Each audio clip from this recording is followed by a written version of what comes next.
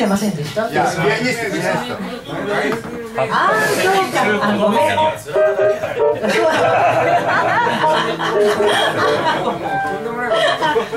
ん内緒に。しといてくださいね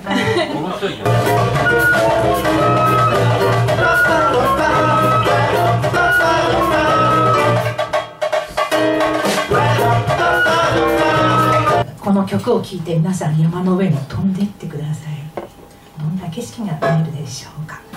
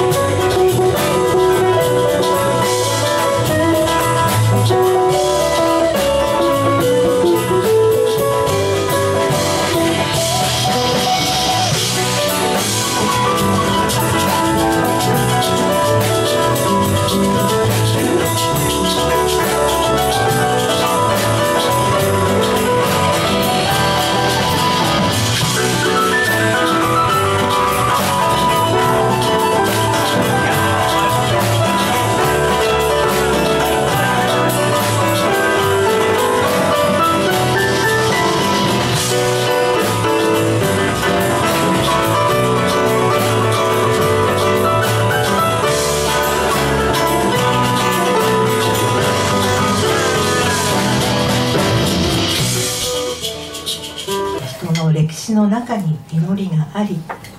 周りの自然がその祈りを支えている。